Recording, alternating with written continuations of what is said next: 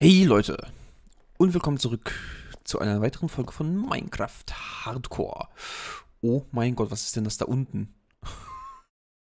What the fuck? So. Ähm, ich weiß nicht warum, aber ich will da unten hin.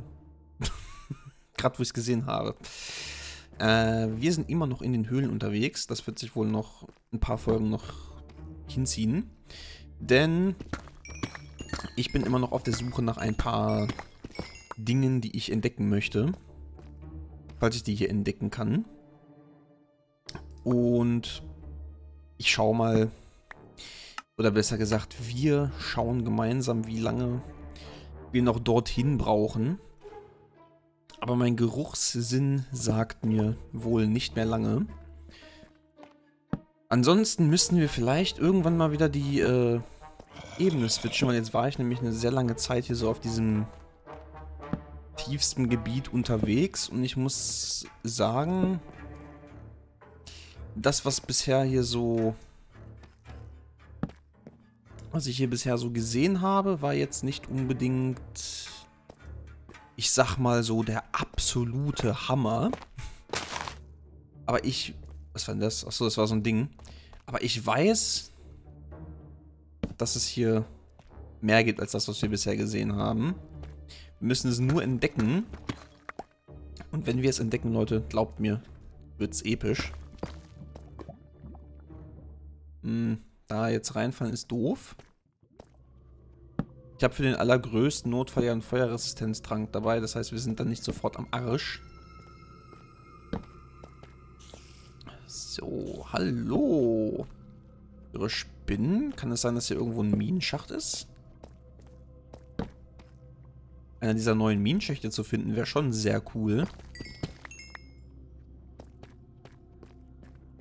Hm, mir kreisen gerade so ein bisschen die Gedanken in den Kopf, ob ich nicht vielleicht doch hätte ein bisschen mehr von diesen Geodensachen mitnehmen sollen, weil die sind ja schon cool, ne? Möchte ich nicht lügen. Aber diese kleinen Lichtspender hier nehme ich natürlich mit.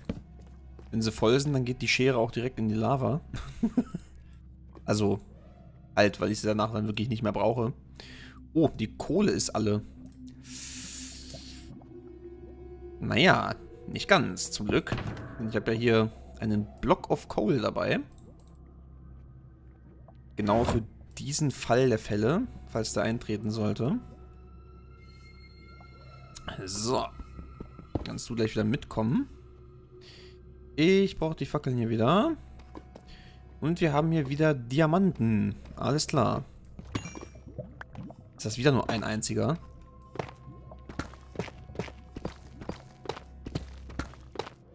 Wow, ernsthaft? Ist das etwa dein Ernstspiel?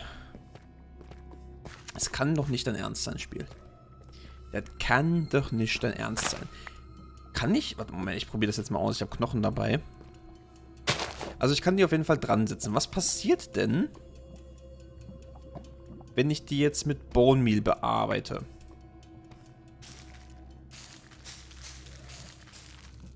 Ich kann die tatsächlich vermehren.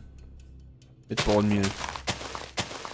Okay, dann äh, machen wir jetzt folgendes. Ich nehme das Bone Meal hier natürlich wieder mit. Äh, dann brauche ich eben noch meine Ender Chest.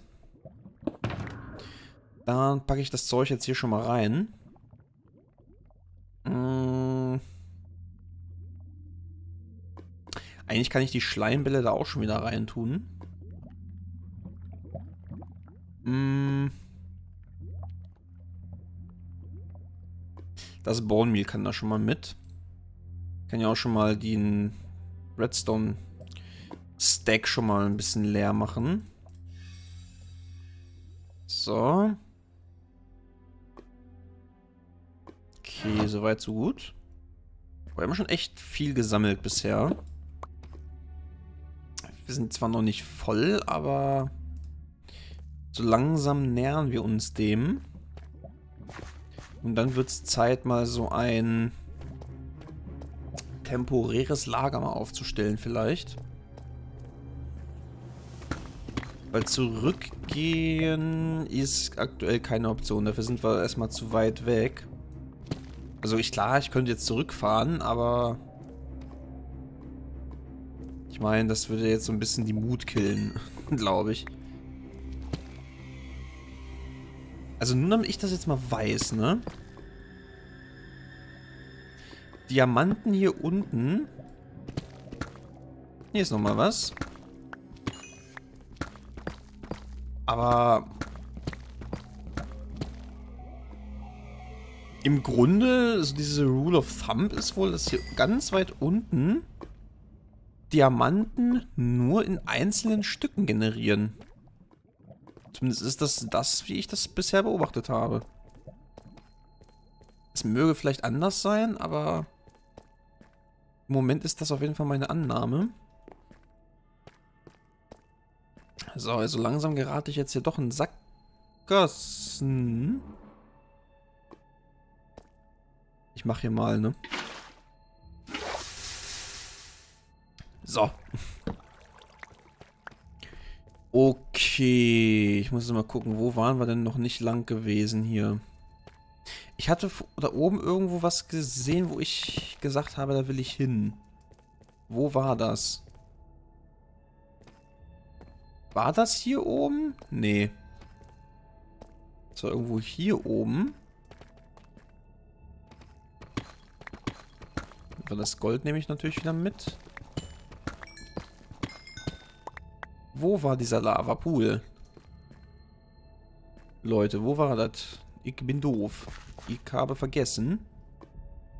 Hier wollte ich auch noch lang, ne? Vielleicht komme ich ja irgendwie hier dann darunter zu diesem Pool oder so. Mal sehen. Hm. Das hier jetzt noch nicht... Hier ist nicht so sonderlich spannend, muss ich ja zugeben. Da sehe ich wieder Gold.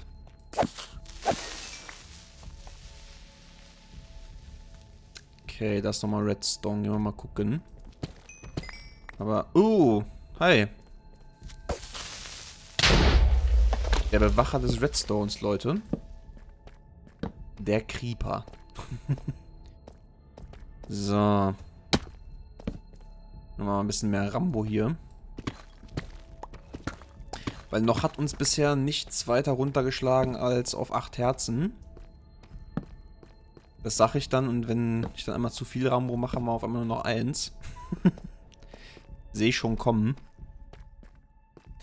So, aber ich glaube, es wird langsam mal Zeit, dass ich mich wieder so ein bisschen Richtung nach oben begebe, dass ich so ein bisschen mehr Freiraum gebe für diese riesigen Höhlengebilde.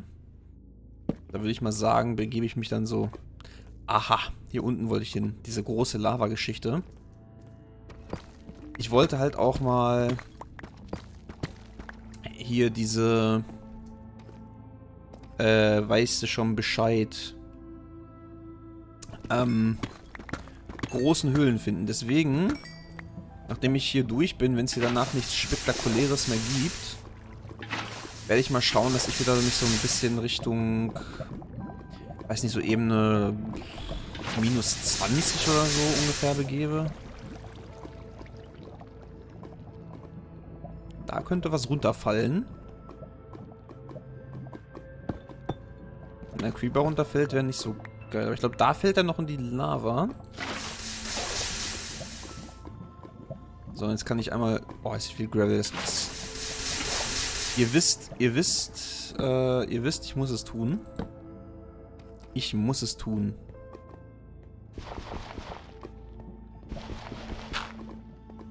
Rams.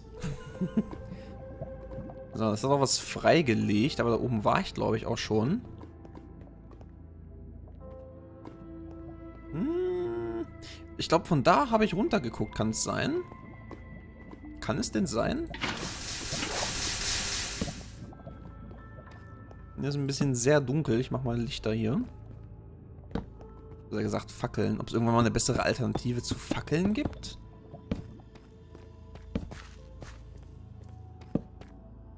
Okay, hier ist auch Ende.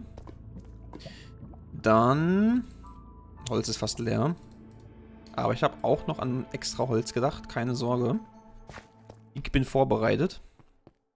Äh, ich gehe mal nach da oben. Gucken. Ich glaube, das wird so, das jetzt einfach mal liegen. Ganz ehrlich.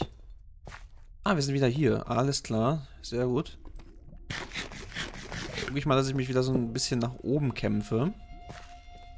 Ich will jetzt noch nicht raus, ich will halt nur ein bisschen mehr das, die Generierung offen stehen lassen. Deswegen würde ich mal sagen, ich versuche mich mal so auf minus 10, so 0 minus 10 mal hochzukämpfen. So dass wir hier wieder mal ein bisschen mehr interessante Generation kriegen. Anstatt dass wir jetzt hier nur in diesen Deep Dark Caves die ganze Zeit rumeiern. Hier waren die Endermänner.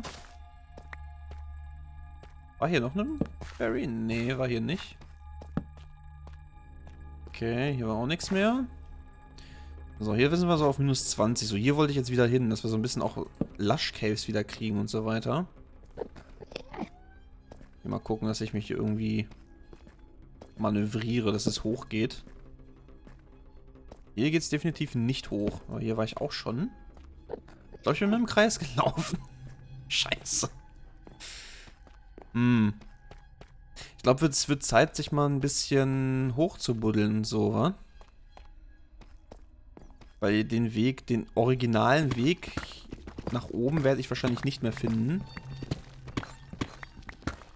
Gehen wir mal ein bisschen auf die altmodische Art und Weise. Und zwar nach oben buddeln oder Strip meinen. Diese Musik macht mich gerade wahnsinnig. Okay, bei 25. Ich fange mal so bei 10, minus 10 mal an, geradeaus mal ein bisschen in die Richtung zu graben und zu gucken, ob es dann da normal weitergeht. So, oh, das ist echt dunkel hier, ne? Eigentlich bräuchte ich doch die Fackeln wieder im Slot. Statt dem Schild. Minus 13. 3 noch hoch. So, jetzt muss ich mal gucken. Hier haben wir schon mal Gold gefunden. Sehr schön.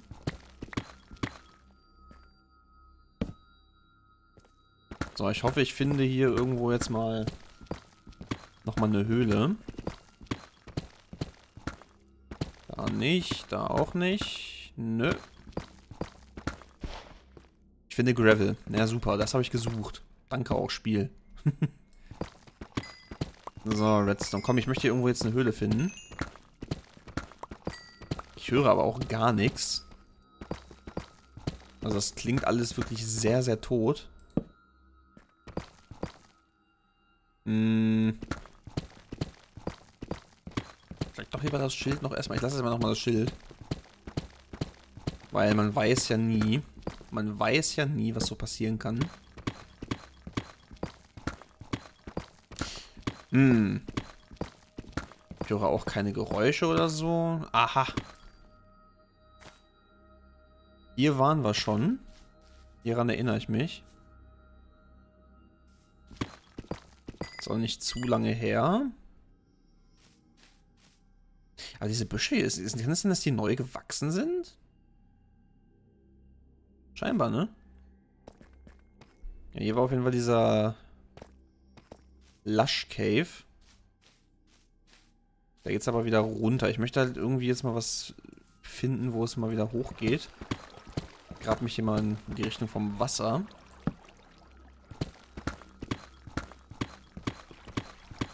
Vielleicht ist ja hier irgendwo so ein Anfang von so einer gigantischen Höhle.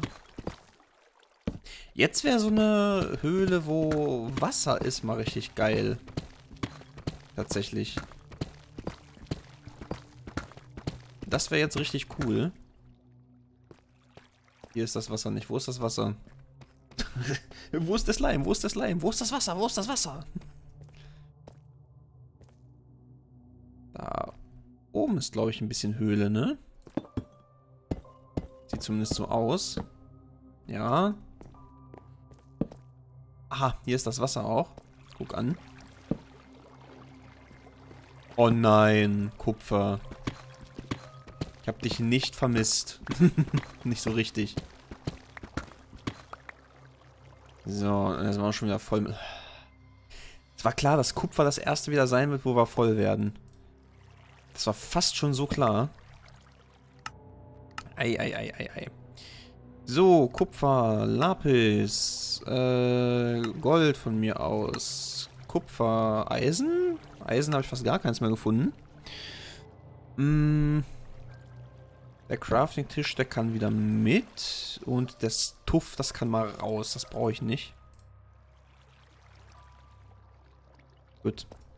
Das passt soweit. Hier ist Ende, ne? Hier ist wieder Ende. Alles klar. Hier sind wir mal minus 8. Ich grab mich hier mal irgendwie nochmal in die Seiten rein.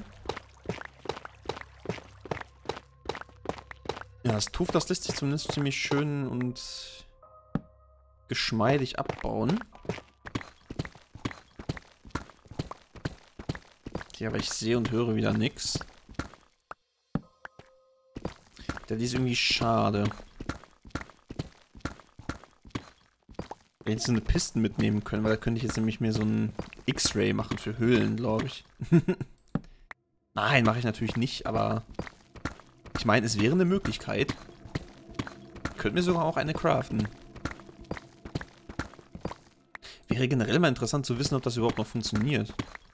Aber ich will jetzt auch nicht Risiko laufen, mich deswegen umzubringen, ehrlich gesagt. Deswegen lasse ich das vielleicht mal lieber bleiben. Aber ich kriege ja ab und zu mal so... Hier so Flashes, wenn ich zur Seite gucke von so Sachen. Nicht, dass ich das jetzt irgendwie cheesen will oder so, sondern einfach nur le le legitim mir dabei helfen, hier so ein paar Höhlen zu finden. Anscheinend ist irgendwo hier an der Seite was. Zumindest laut diesen Erscheinungen. Aha. Ach, das ist hier wieder. Hier ist so ein Fisch sogar gestorben. Und hier ist ein Axolotl. Ja, geil. Die guten alten Axolotls, für die wollte ich auch noch so ein Ding bauen, ne? Auch so, eine, so ein Aquarium bauen. Wann waren wir denn hier? Das ist, glaube ich, noch in einer der letzten zwei, drei Folgen gewesen. Hier ist auch noch ein Weg, der nicht erkundet ist. Hier lang. Machen wir mal hier weiter. Ich versuche mich jetzt so ein bisschen in der Mitte zu halten. Von Deep Slate und Stein.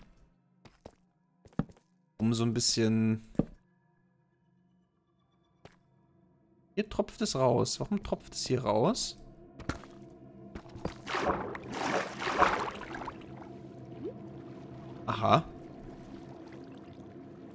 Hier ist so ein...